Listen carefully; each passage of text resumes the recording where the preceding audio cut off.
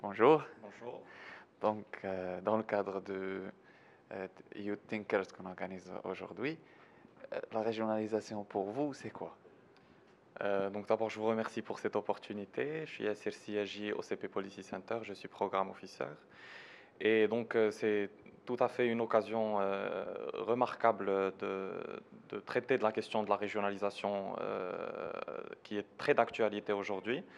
Euh, la régionalisation, pour moi, est tout simplement une délégation euh, du pouvoir ou un transfert de pouvoir de l'État central vers les régions et donc de l'administration centrale vers les élus locaux euh, dans une perspective de démocratie locale de plus en plus importante. Selon vous, quel rôle pourraient jouer les jeunes dans un tel projet pour la réussite d'un tel chantier? Alors, à mon sens, euh, les jeunes euh, représentent la future génération et la génération actuelle.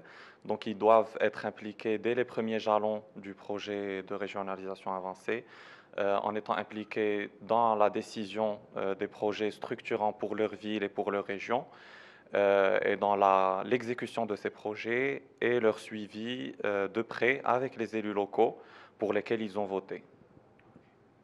Dernière question, en tant que jeune, quelles seraient vos attentes par rapport à la régionalisation Alors mes attentes seraient celles de n'importe quel jeune Marocain, euh, voir des villes euh, plus performantes, euh, plus de démocratie locale et plus d'interaction avec les élus qui gèrent nos vies au quotidien. Et donc on aimerait euh, des services urbains et ruraux plus, performants, plus d'opportunités de travail pour les jeunes, plus d'espaces publics où les jeunes peuvent s'exprimer, notamment à travers les maisons de jeunesse, les, euh, espaces euh, verts, euh, les jardins publics, les espaces sportifs pour les jeunes Marocains.